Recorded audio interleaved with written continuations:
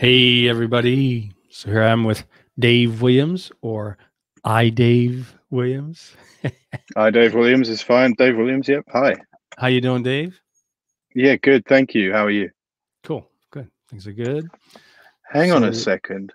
What's that over your what's that over your left shoulder on the shelf? That This glass looking thing. that? The other way. The other oh, way. Oh. Down on the bottom shelf. What is that? I thank you. My What? Guru A guru for Red award? Against the Dark. Oh background. yeah. Yeah, Kelby Oh, won that's nice. Photoshop World for Photoshop Artistry. Thank you. Congratulations. Quite a Yeah, prestigious award to have there. Yeah, it was cool. Good, good. And uh, let's see, we have uh, just to remind everyone to let us know where you are watching from. Welcome, everybody. We got some comments coming in. So, uh, Shall I tell you where I am? Because you- you're in you're in California, right? right. So I'm in Los Angeles and you are in the UK. I'm yeah, I'm I'm just outside London, um, about thirty minutes west of London, Cool. and about seven, eight hours away from you. Eight hours time difference. So I'd be That's right. interested to see where everyone else is and where everyone else is living and from. Right. So we have Andrew Nichols, who's also in the UK, Hi, Andrew. uh, someone from the Netherlands. Goeienacht. We got uh, Stephen, Stephen Gotts from Prescott, Arizona. I know him. And Nice um, guy. Let me just remind everybody so we can give you credit when you uh, comment or ask questions. Please give StreamYard permission to show your name and profile pics so I can give you credit when you comment, ask questions. That is the link right underneath the live, streamyard.com slash Facebook. Just click on that, give permissions. You might have to go back into the group, uh, but um, do that and then we can see who is commenting. Thank you. Yeah, I'm, I'm interested to see Someone from Napa Valley, California. Napa Valley down the road from you. And then we got Osvaldo, who's in Los Angeles as well. One of my uh, Good evening. Osvaldo. Thanks for being here, Osvaldo. Cool. So yes, so uh, let us know where everyone is watching from, and uh, while we wait for uh, more people to come into the live, let me give a little shout out to StreamYard. So StreamYard makes all this possible. StreamYard live StreamYard. streaming, multi streaming to the different platforms. So here's a little intro video. Yeah.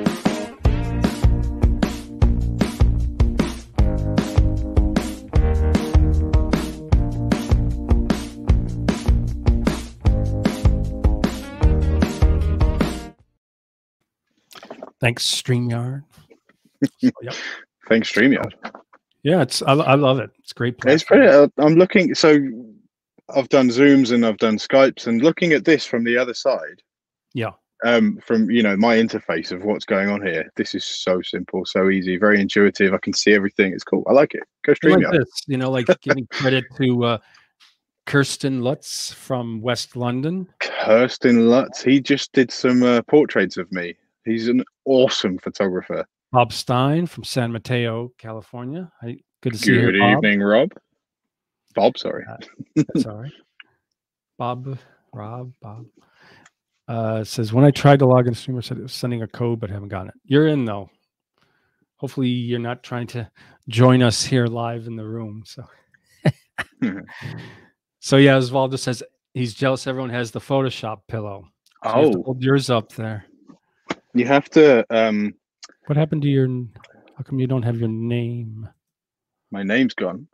Um, Oh, you I- have I to. I yeah, if you if Okay. you There if it is. you do something nice for Adobe or do one of their feedback things or I don't know any there's there's lots of ways to get one.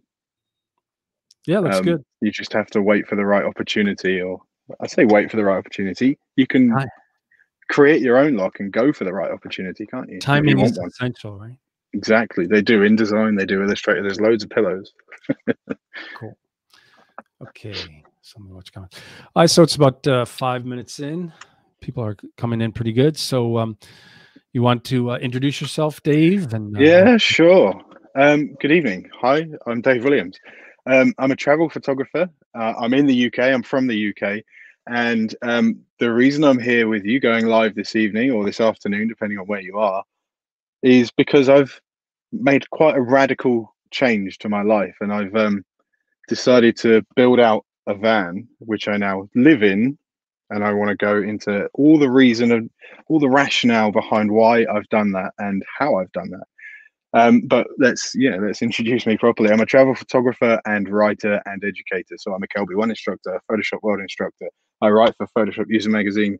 Um, I've just written a book for expertphotography.com about travel photography. Um, I work closely with lots of brands. Um, I'm an Adobe uh, influencer, that's the word.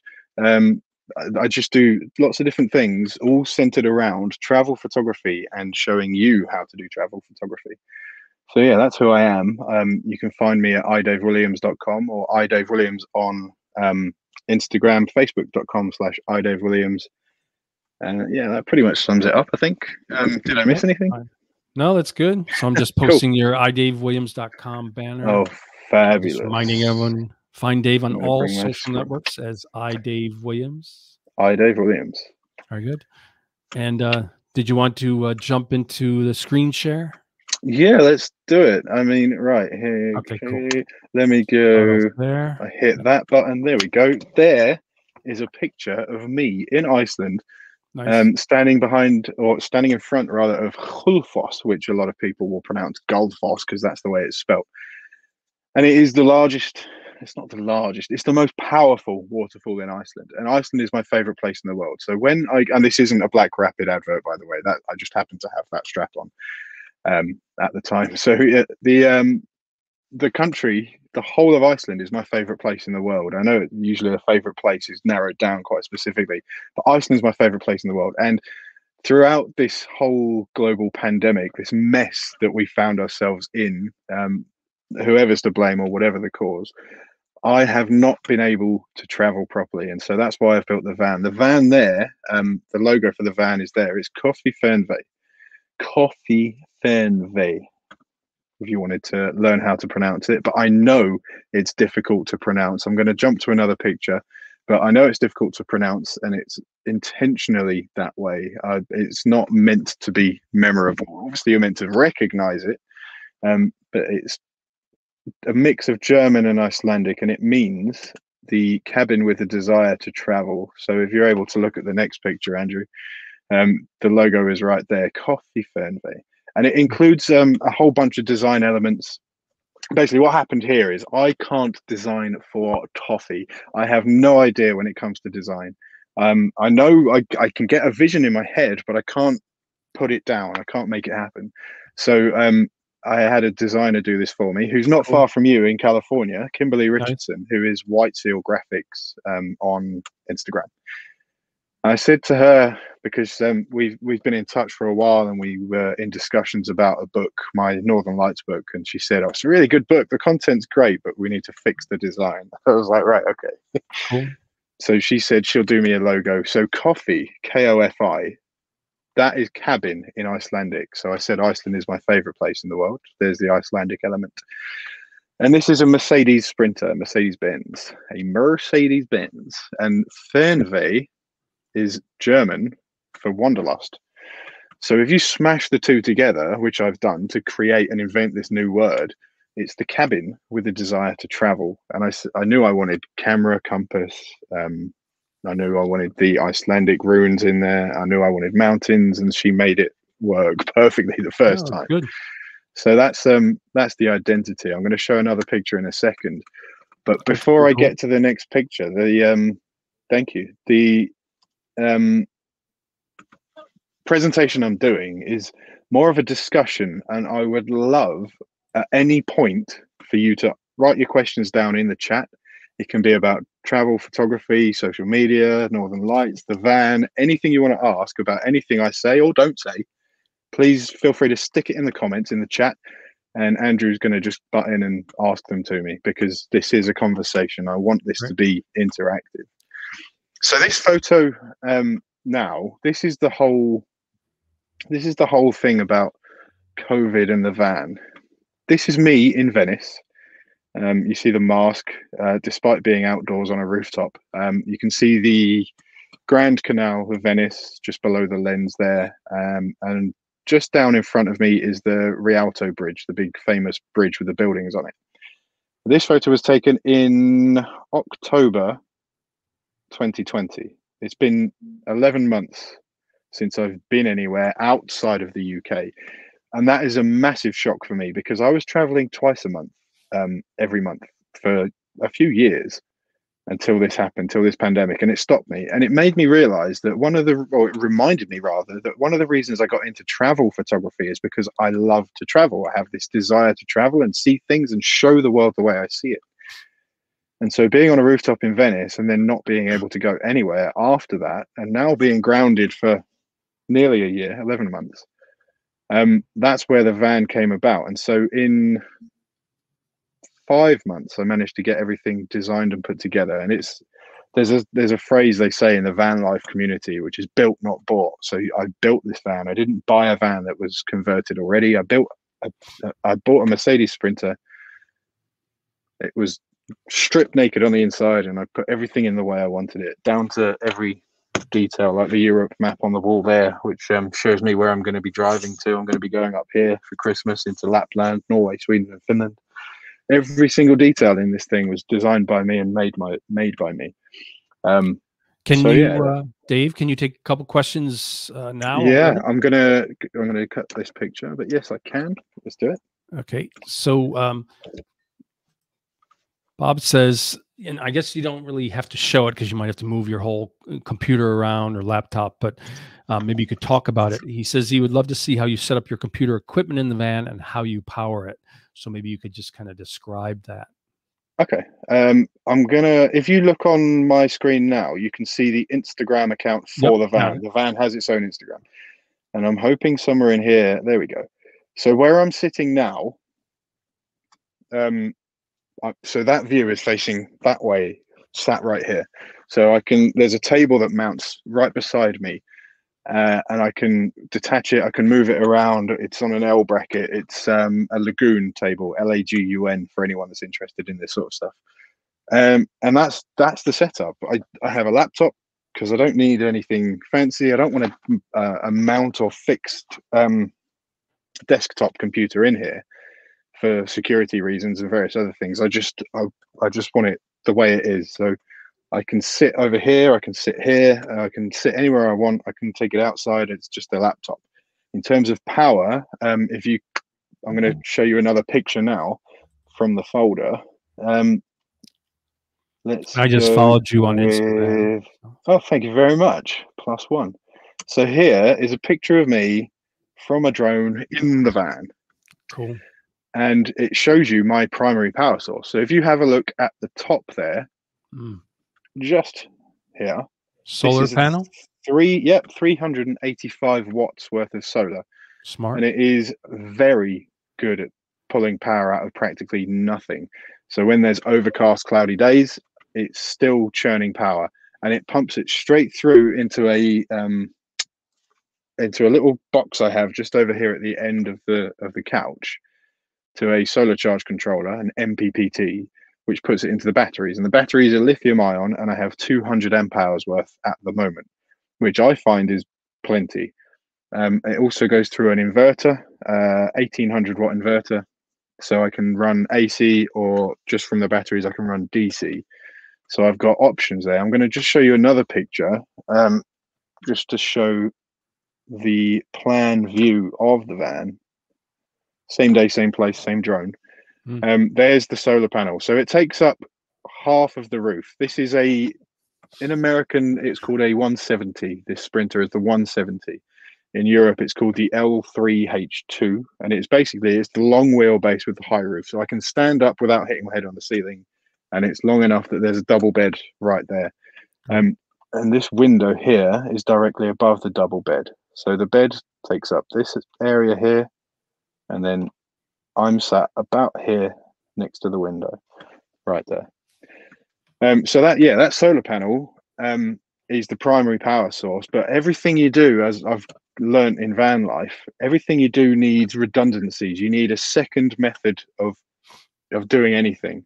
So the if that fails, or if there's not enough sunlight, or whatever it may be, the second power source is um, from the engine. So from the alternator, it runs through and charges the batteries just like it charges the regular battery.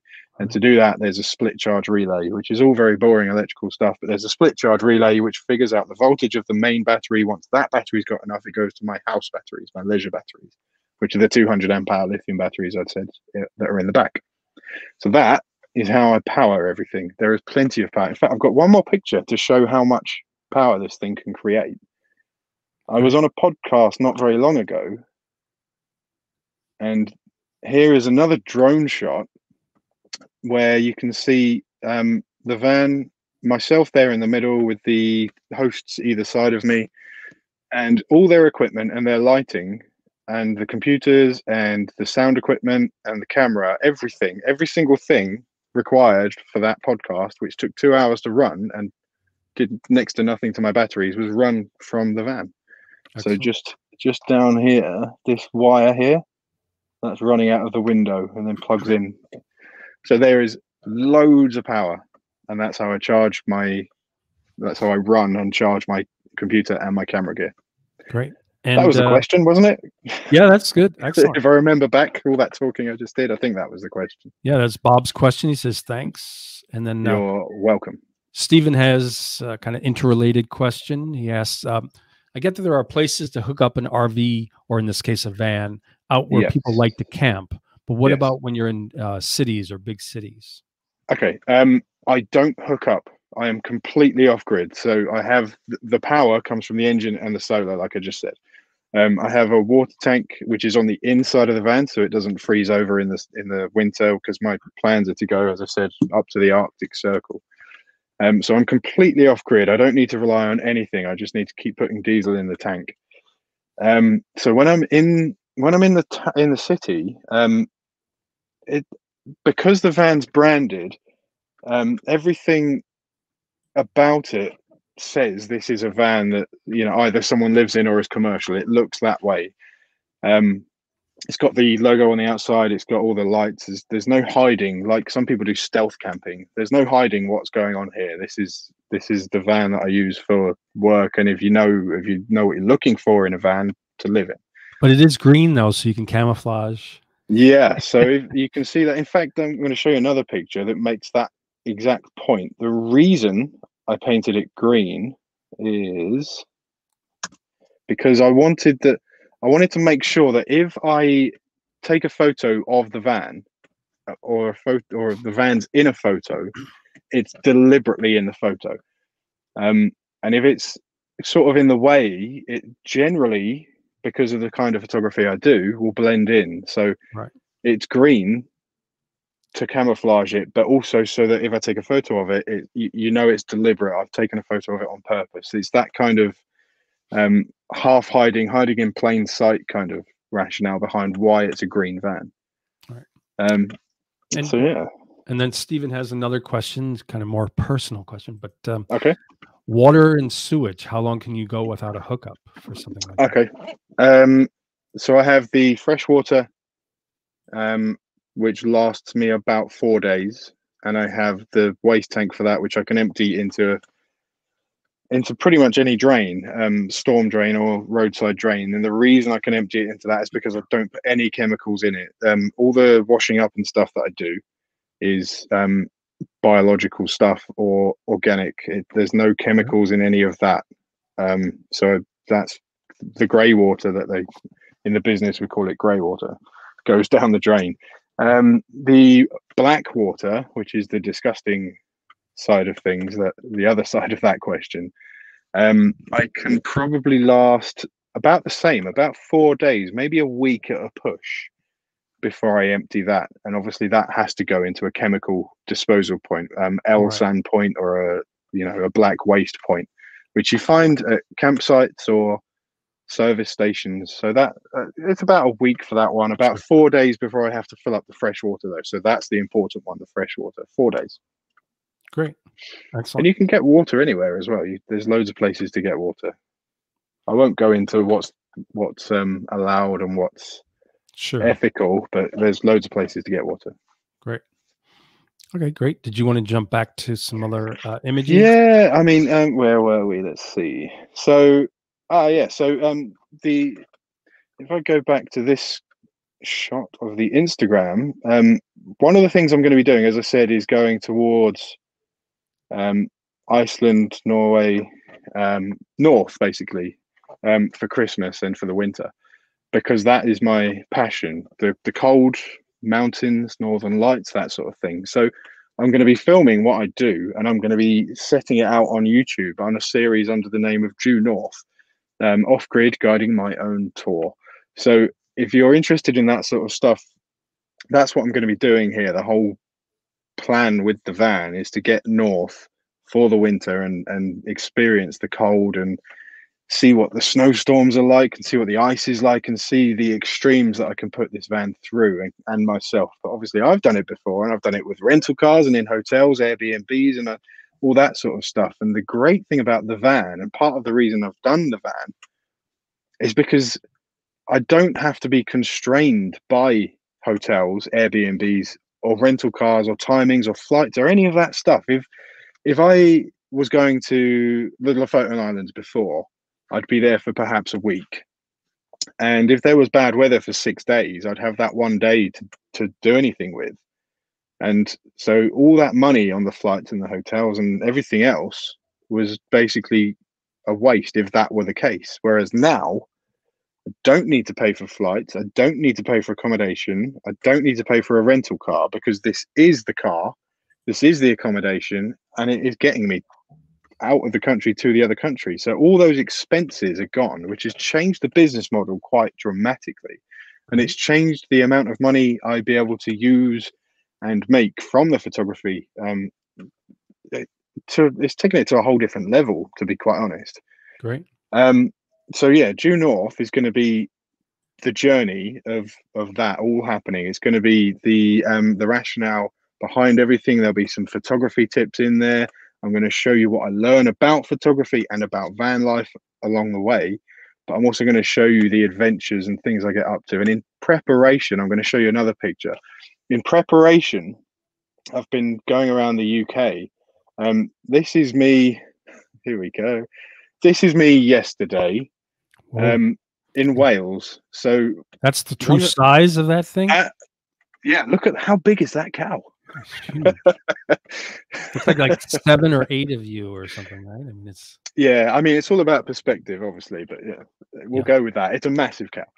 Um, one of the things I think is very, very important to photographers is personal projects, and and the reason is no matter what style of photography you do, personal projects will keep you on your toes. They'll keep you learning new skills, and quite often those skills will translate from whatever it is to whatever you do. So if I show you another picture, the reason I was parked on this hillside in Wales is because I decided with a friend that we were going to go and take photos of planes at this place called the Mach Loop. And obviously, plane photography is not what I do. I, I shoot travel photography. I shoot photos that make you want to be somewhere, that go in brochures and magazines and on websites and things like that. So this photo of a plane is not going to make you want to go there. It's not it's not a travel photo, but it's a personal project, and I'm interested in planes. I'm a bit of a geek, um, and so we went, my friend John and I, to this hillside in Wales where they do low flying training. This is an F-15, so obviously the Americans uh, use it as well as the British in Wales. Um, from RAF Lakenheath, which is one of the uh, U.S. Air Force divisional bases.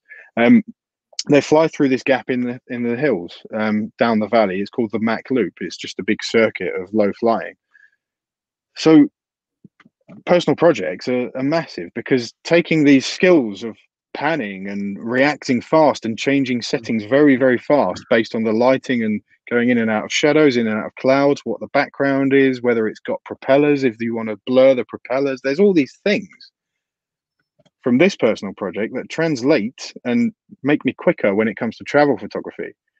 So personal projects are a huge thing if you're an established photographer to keep you on your toes and to keep your skills up. And if you aren't established, if you haven't found out what your niche is yet, this is a way to find your niche. Try everything, try everything out. Go take some pictures of planes, do flowers, do animals, do mountains and landscapes. Try everything. Do these personal projects to figure out either what you like or to keep you ahead of the game. I think I might have another picture for this point. Let me just have a quick some, some uh, questions too. Yeah, go on.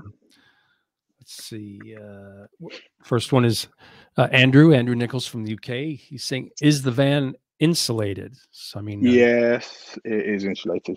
Um, I would imagine you have to be, right? So, yeah, let me find something for this. So, um, I can deal with any weather. Um, so, in terms of the insulation, there is 50 mil of insulation all the way around. Um, so I had to strip the floor, strip the wall, strip the ceiling, and there's 50 mil of insulation. If I quickly flick from, so this is obviously this is the van dealing with all weather. In fact, quickly, the reason I show this picture is because it can deal with the terrain and everything. It's not a four by four, but it has um, all weather, uh, all terrain tires, very big all weather all terrain tires that can deal with everything, including ice and snow. And this is going up uh, a very wet, muddy, horrible hillside with no problem at all. If you're interested, the term for a, something that's not a 4x4 that has perhaps the capabilities or qualities of a 4x4 is a swamper. Just uh, yeah. now, now you know. Um, but if we go to my Instagram for Kofi Fernweh, you can see way, way down the insulation. Okay, here we go. So oh, yeah. on the floor, on the floor is um, foam, um, fixed foam. What's it called? Hard foam, whatever that's called. Sure. and that's that's 50 mil, and it's on the ceiling, on a lot of the walls, and on the floor, and in all the gaps. This is recycled glass um, insulation. Um, and I made sure it's the stuff that doesn't gather water and soak water in. And then you can see underneath it as well to plug the gaps that I still couldn't get into. There's expanding foam. So this, so that specific spot is under where I'm sitting, where the bench sheet is, and that is all the way around the van. There's insulation everywhere, and then the blind behind me is an insulated blackout blind. The one on the other side is the same. The skylight is also blackout and insulated. So as I've done everything I possibly can to keep myself warm in this thing. Um, I think I think it's going to work, but I'll let you know in December and January. You'll find out for sure whether I'm warm or not. But I think it's a, I think I've done a pretty good job with the insulation. Great. And then uh, let's see. Uh, Andrew says, uh, if you ever feel like roughing it, come up to Stoke on Trent. Laugh out loud. I drove I drove past Stoke on Trent today. So I woke up in Wales um, by the Mach Loop. Um, and it's the Mach Loop, if you're interested, it's not called Mach because of Edward Mach, the guy who discovered the speed of sound. It's called Mach because of the Welsh town nearby that no one can pronounce. It's a long word beginning with Mach. It's something like McKintley, McKintley, something like that. Anyway, I woke up there 180 miles away and drove past Stoke on Trent to get to where I am right now. So yeah, I, I, I was in Stoke on Trent today, nearly. and then I uh, see a uh, comment by Dave. Dave Ellison says, I saw the van in the lay-by at Belwich. Yeah, Belwich. Where you park for the Mach Loop on Wednesday morning. Sounds like a oh, lot wow. of UK terminology there. Oh, that's cool. Yeah, Belwich is the town near the Mach Loop. The next town to the it's Mock the next town the other way. To, yeah, exactly that thing. it's the next. And how town. you spell uh, how you pronounce it? Mockinglitch. McKinley, McKinley, something like that. Irish they make funny with the double L. It sounds Irish, something like that. It's it's probably got a Gaelic origin, but I don't know for sure, so don't quote me on it. I don't know. But yeah, um, saw the van in the lay-by though. That's pretty cool. Did I mean? I'm yeah. happy that people are recognizing it. That's very good. And then uh, Bob was asking, "What's the Instagram account?" So I went ahead. The Instagram account for the van is so there. that's how you say, it, right? K O F I F E R N W E H, correct? Exactly. It's Kofi Fernweh. And as I said at the beginning, it's not designed or or thought up to be pronounceable. That's not the point of right. it. It's just that's just the name of the van. That's just the identity. If you go to mine, um, I Dave Williams, which you see there in the description, just like this says driver, I Dave Williams. If you go to I Dave Williams, it will say driver of Kofi Fernweh. So there we go. Mm. So if you go to I Dave Williams, because that's far more memorable, you'll be able to find the van. Great, smart. Yeah. Cool. um, Was there a question, or shall I go further on? Yeah, you can proceed. Yeah, great. Okay, so I've got um, what have I got here? Oh, if anyone was at the photography show in um, Birmingham at the NEC the other day, I was I, I had three classes there. Um, this one was on the editing and post production suite, which was all about photography for Instagram. And then I had uh, two in the masterclass theatre, which were shoot for love, work for money, which are all about the business of photography and going pro in photography. So if anyone here was there and is watching this now, uh, thank you for coming to the classes. It was good to have such a great audience there. And this gave me so much hope and inspiration that I'm doing the right thing. That after COVID, with everything starting to go back to normal, and I say normal, relatively normal, um, away from um, restrictions on gatherings and travel and everything like that. It's it's building me up for uh, the big go date, and the go date when I leave the country is November the eighth. Um, between now and then, I'll be doing a lot of the getting ready. I'll be going to Scotland. Um, I'm going to be getting the van serviced and get the MOT done. The MOT, if you're not familiar, is like the vehicle test. I'm sure you have that wherever you are in the world. So the, the, it'll give it another year's worth of roadworthiness. Um, Can I ask um, some questions since we're at this? Please slide? do. So go for, on. I'm going to show the other one though. There we go. Right. There's the so other for, class. For editing and, and post production, do you prefer Lightroom or are you a Camera Raw user or do you jump back and forth? Back and forth, completely back and forth. Um, Camera Raw and Lightroom have so many overlaps um, al- although there are unique things about each, they have so many overlaps that um, it depends on what I'm up to, how fast I want to go, whether I'm doing it for the catalog, whether I want it saved and backed up. There, there's lots of different reasons, and also I, write so many tutorials for magazines and websites that um, whatever the tutorial demands is the thing I'll use. So yeah, I'm backwards and forwards all the time. I, I think if I had to say which one I prefer, um, I prefer using Camera Raw and Photoshop. There's the answer. I mean, sure. I mean, obviously, there's, Lightroom there's organizes nicely. Lightroom organizes nicely, but my file management is crazy hot. cool. Yeah. Um. Right. What have we got? Oh, here's uh. So some of the preparation I've been doing for the big uh, departure day is um just taking the van to as many different kinds of places as possible. So where the with the podcast picture that we saw before, that was uh, that was basically an off-road place. Um, stayed there overnight for two nights, but it's an off-road place, and we were going up steep, sort of thirty to forty degrees, very very steep inclines. There was mud, there was grass, there was gravel. Um, there was some twisty turny bits through the woods. It was that was testing whether the van was capable of doing that. And I'm very happy that it is. And so I took it to the beach to see what it was like on the sand as well. So this is um this is legal by the way. You are allowed to drive on this beach. This is Blackrock Sands in Wales, and this was two days ago. And so um, I've been putting everything through its paces in uh, in the most exciting way I possibly can by having fun and getting out there, but just throwing things into the mix. So I'm waiting now for a bit of snow and ice, which is part of the reason why I'm going to Scotland. I might be able to get some in the mountains um, to test that everything works the way it should work, because I don't want to get from here to here, which is, mm, I'm going to say, I'm going to estimate four to four and a half thousand miles, which is probably 6,000 to six and a half thousand kilometers. I don't want to get all that way to find out that the wheels aren't good enough or that um, I needed, I don't know, there's a screw missing somewhere, whatever it may be. I, I want to make sure everything works perfectly so that I can make the most of this adventure and share the adventure with you and show you everything that's going on. So, so yeah, that's Blackrock Sands. If anyone's interested, if anyone's in the UK, Blackrock Sands, they charge you five pounds to drive on the beach. It's it's awesome. so Dave Dave Ellison says that there are great caves at Blackrock Sands. There are. I'm going to show you another picture.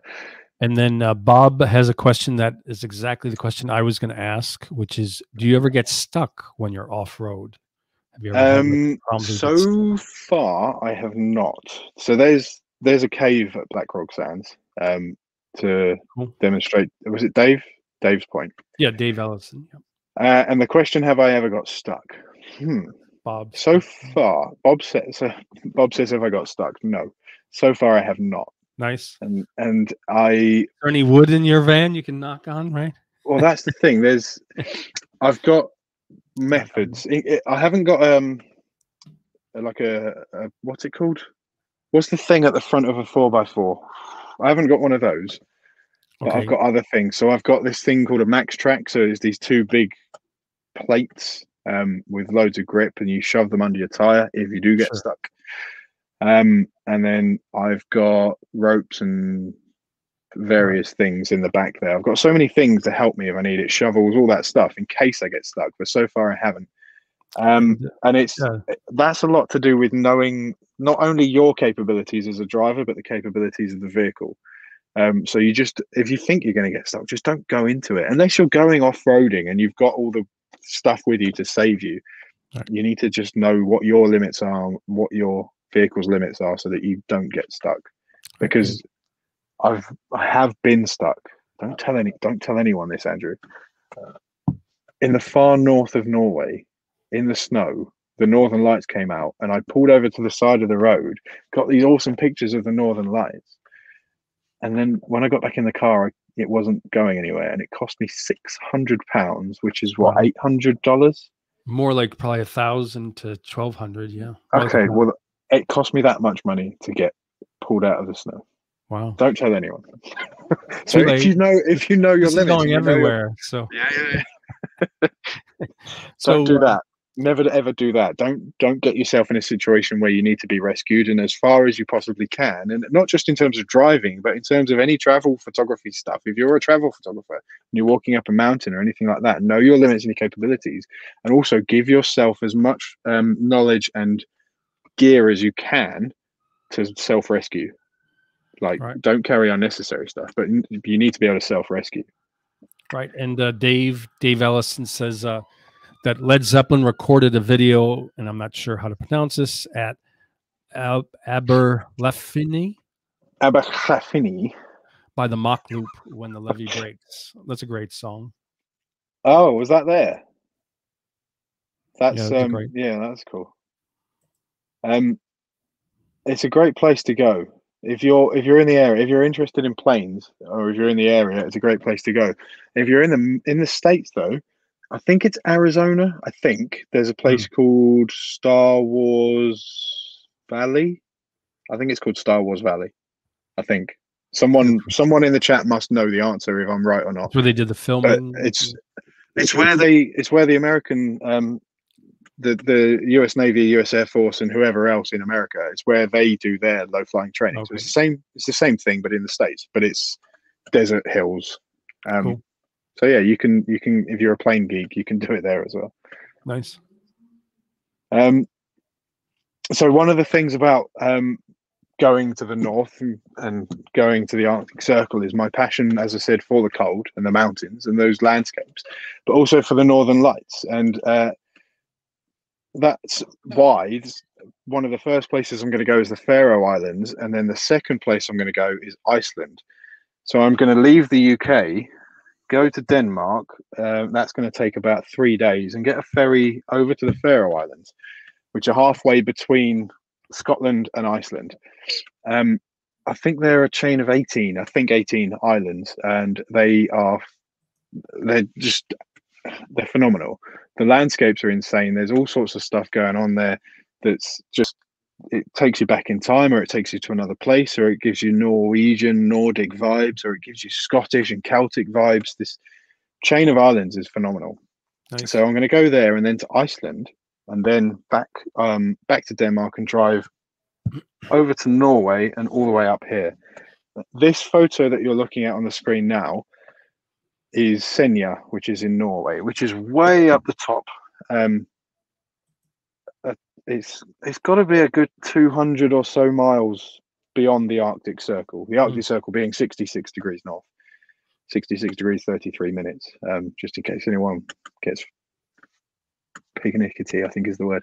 Um, these mountains here um, are quite iconic um, and quite what's the word I want to use? They're they're normal Norwegian mountains, but in in Norway, this normal that they have is spectacular to people like you and I, where something like that isn't something we see every day. And having the Northern Lights dancing above it is is a spectacular yeah. sight. Um, so that's Norway, but I'm going to show you another picture as well of Iceland, which is right here. If you're a Game of Thrones fan, this is the mountain shaped like an arrowhead. Mm. And if you if you're reading it off a map, it's Kirkjufell, Kirkjufell, which is Church Hill. Um, and the, the waterfall is Kirkjufell's Foss, Foss being waterfall in Iceland, which is a good tip. If you see anything on an Icelandic map or your Icelandic sat nav GPS device that says Foss, it means it's a waterfall. Beautiful. So I, I, to be able to get the van to these places, shoot the northern lights, explore the landscapes, and see everything there is, being self-sufficient, creating my own energy, having everything I need right here, and being able to. I, I mean, I could park up right there and just wait for this to happen. This is what it's all about for me. This is the reason I've done it. And being restricted by the COVID travel restrictions and social restrictions that have um, come with that, kind of inspired the, you to do all this, right? Exactly. So you know when you're looking at Instagram or any social media and you see the people in the van with you see the blanket and the doors open on the beach and the mountains or whatever it is out the door.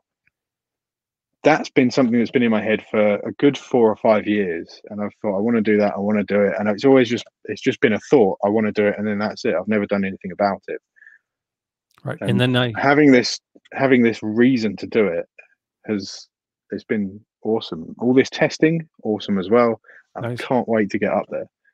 And uh, Stephen, there's a comment from Stephen, and then I have a question. So, okay. Uh, Stephen says uh, that U.S. Rainbow Canyon, nicknamed Star Wars Canyon and Jedi Transition, is a canyon inside Death canyon. Valley National Park in Inyo County, California, on the park's western border. Okay, so basically, what I, what Stephen just did there is correct every single thing I said except Star Wars. So it's Star Wars Canyon, and I said Valley. It's California, and I said Arizona. But yeah, so there's.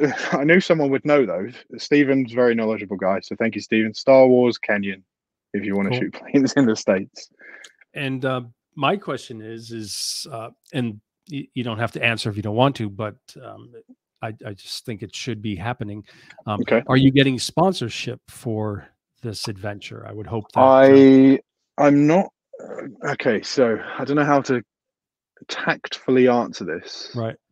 I have. I work with companies that kind of sponsor me in a way in that they give me product and when I give them content they give me money that's sponsorship though right but anyway i have right. a few companies that i do that for I make sure none of them conflict. So there's um, only one of each kind of sure product.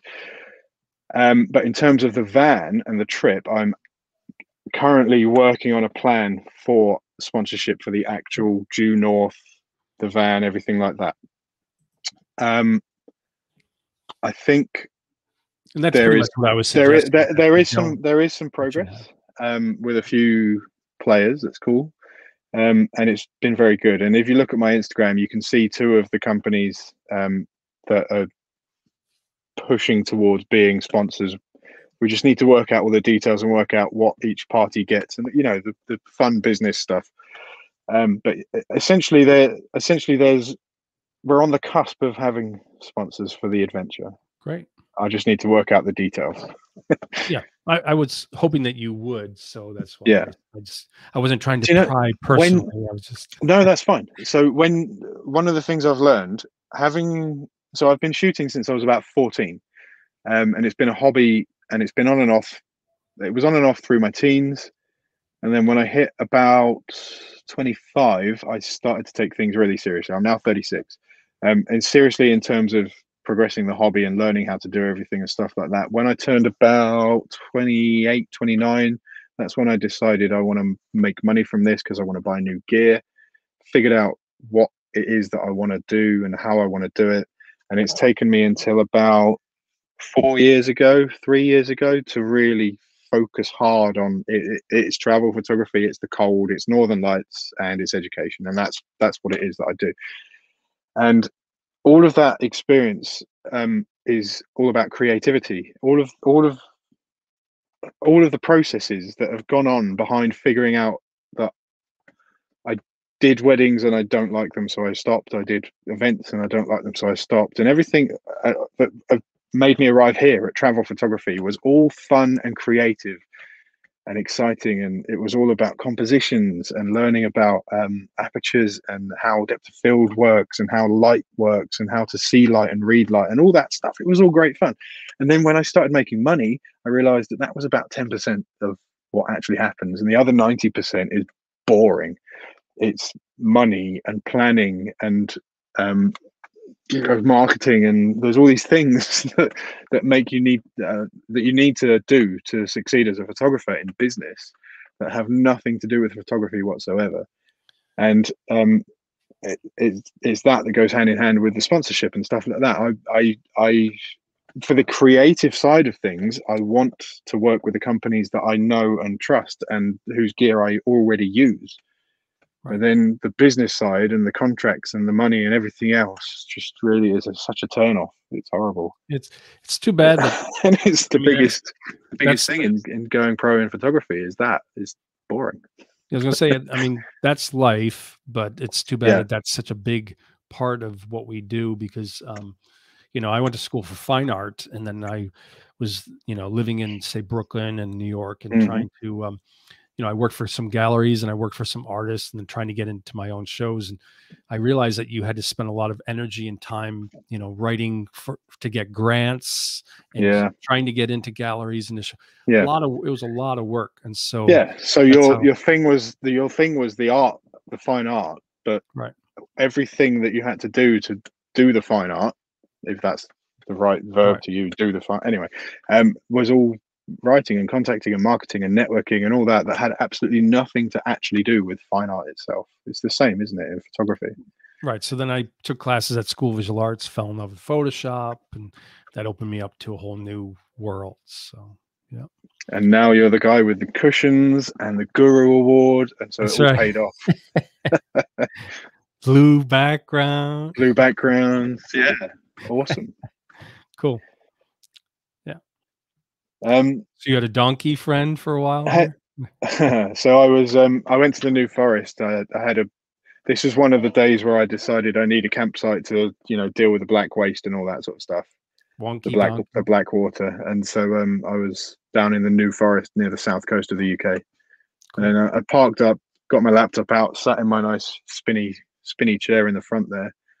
And the next thing I know, the van was just surrounded by donkeys. They roam wow they're I don't know they, they can't possibly be wild, but you know they roam the, the national park, horses and cows as well. So the next photo was a cow that was um just you see the van see, see the van there hiding. Yeah.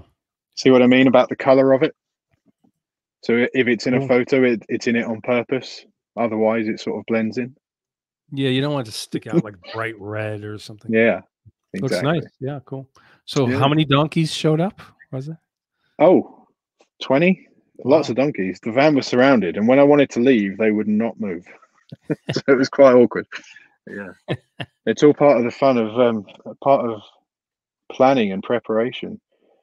Like this was part of it as well. This it's only small but this screw was in the tire but you can see how chunky and meaty these tires are and they're not going to take anything. So that right. that was no no match at all that screw. It did no damage. I just unscrewed it and it came back out Cool. Yeah, I mean, there's a lot of work going into making sure this van is ready. A lot of work going into making sure it's ready. Um, I have a, um, a member of the family um, who is right here, who is the greatest mechanic in the world. He is my absolute hero, and he's been helping me with the things that I'm not sure about. So this is the garage he works at, and we had the van up on um, what is that on the lift to get underneath right. to make sure there we go. To make sure everything was the way it should be that there was no rust that all the brake pipes were clean and and working effectively. I mean there's so much work going on here to make this happen. This this is part of the thing as well like the creativity versus the business. Well this is the business of van life. It's all these boring things like checking brake pipes that go on to make sure that when you actually get there when you need the brakes that they work properly Right. I mean, you got to take all that time to be thorough, or else you know you could find Yeah. yourself in a pretty bad situation. Yeah, and we've learned from the snow recovery experience that we don't want bad situations. most most places that you go to at nighttime does it cool off so then if it's summertime you're not too too hot Yeah. for the insulation right i mean Yeah, so I had, as you can see, I've got enough big holes to open, like the side door, the back doors, and the front, and then each of the windows opens as well. Um, it windows open rather as well. So there's if it gets hot in the van, I just open everything and turn the fans on, and it's Sure. fine. Um, it's it's not really a problem. Um, do you and do you have a um a stick or a baseball bat in case any weirdos come by or anything what do I have? So obviously our laws are very different to American laws, and I don't know about. Obviously, we don't have guns, um, Right. And there's a there's laws about weapons, and there are even some new ones. I think there's laws about weapons that if something is made as a weapon, it's basically illegal in public. And this is Wow. this is not my home. This is sorry, this is not my house. It's not a dwelling, therefore it's public. So I have to be very careful. But you know, I've got an axe back there, which is for chopping firewood, and I've got an ice axe, which is obviously for going on glaciers, and I've got a knife for cutting um, things in the kitchen. Sure If, if is that a good enough answer? that's a great answer yeah Right, good. hope, hope you hope you're not uh, bothered by my questions right No, I'm not bothered. I'm just being careful about the answer, but there's the answer. no it's cool it's cool it's cool yeah nice Cool. I wonder if anyone's got any questions about the trip or the journey. If anyone's got any questions about photography or business of photography, seeing as we've got onto that as well, please feel free to go ahead and ask. I wonder- know. It's not going to play sound to you, is it? This is the uh, cave at the Black Rock Sands um, that I was parked in front Hmm. of that you saw just now.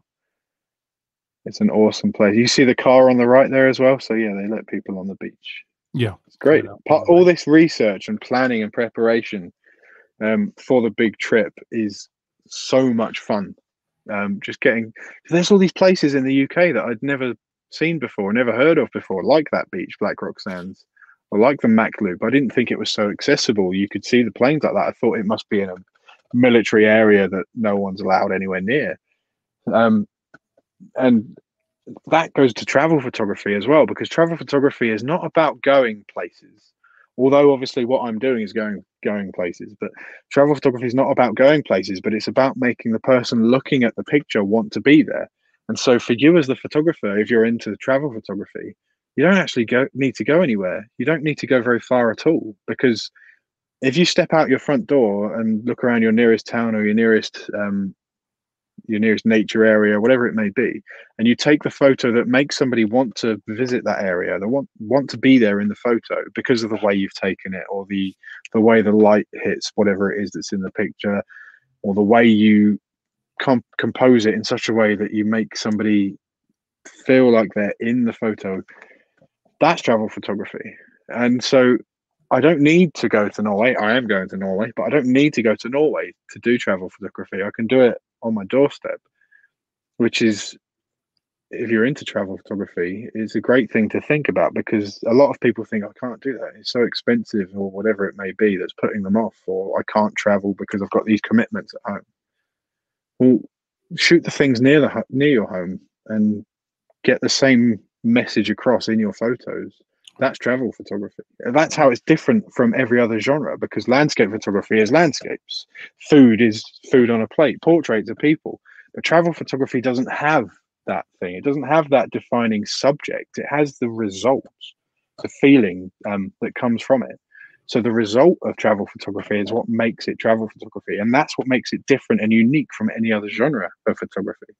So there, take that one with you. Um, Yeah. Travel photography is completely different, but it's so fun, and you don't actually need to travel. Yeah. Bob says, uh, "Great point. Just make someone want to be there." You know. Yeah, exactly. Make somebody want to be there in that place. It's it, you can you can try and evoke the other senses, perhaps through your toning or your color or what's in the photo. You can evoke the other senses, like um, you can hear the sea or you can smell the food, whatever it may be. If you can get that through in your photography based on the way you process it and the way you take it, you've done a great job as a travel photographer because there's someone looking at that photo is going to want to be there. If I show you this photo of the van parked at a gate in cold, wet weather, does it make you feel like it's cold and wet? Do you feel yeah. that yeah. feeling? And then it succeeded. I mean, it's a terrible travel photo. I, don't, I doesn't. No one should put that in a brochure because you shouldn't want to go there. But it's done its job as a travel photo because it's. I've, it gives, I've gives you real feel of the moment. Yeah, having the lights glaring at you, having the grey behind that's really dismal, and then having I've upped the clarity so that there's so many reflections so you can see just how wet it is.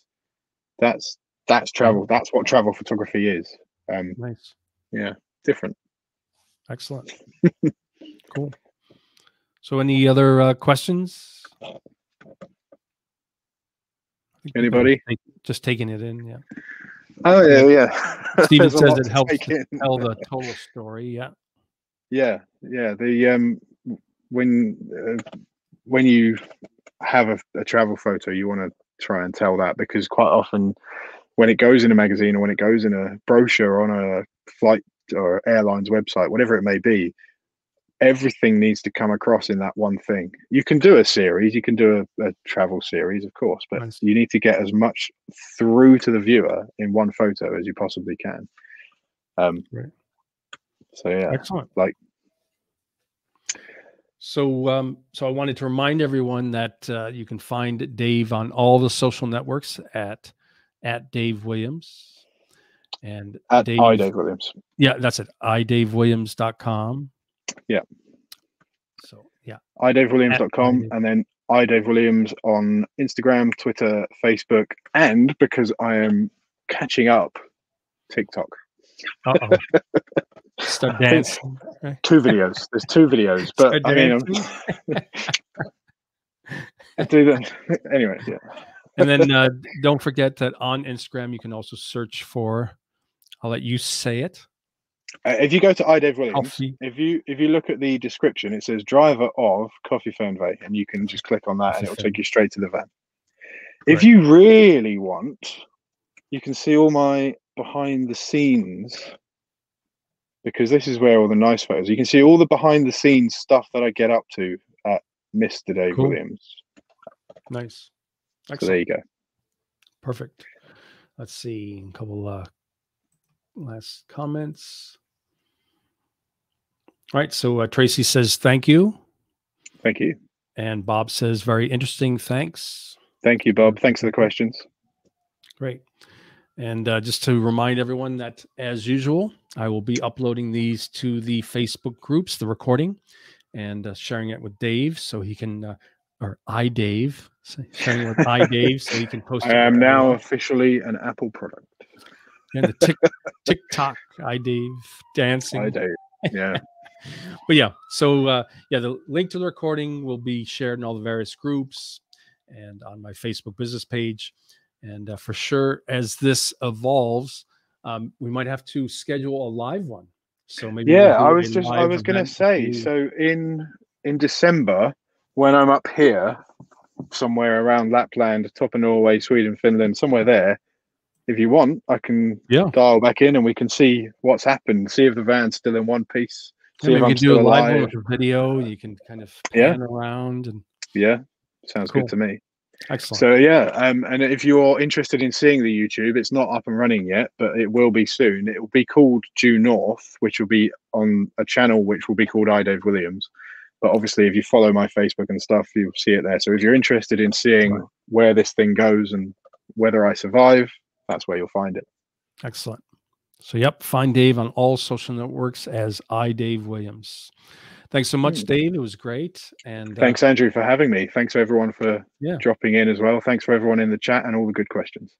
Yeah, and so in December we'll do a, a live a live event where you're right in the midst of it all. So yeah, cool. Excellent. It may or may not look something like that image with the cow, with me standing there with a coffee, feeling sorry for myself. I will thank you so much for this. This was great. And uh, thanks, thanks for everyone for watching. And yes, I will post the links to the recordings and, uh, you know, rewatch it this weekend. So thanks, everybody, and have a great uh, weekend.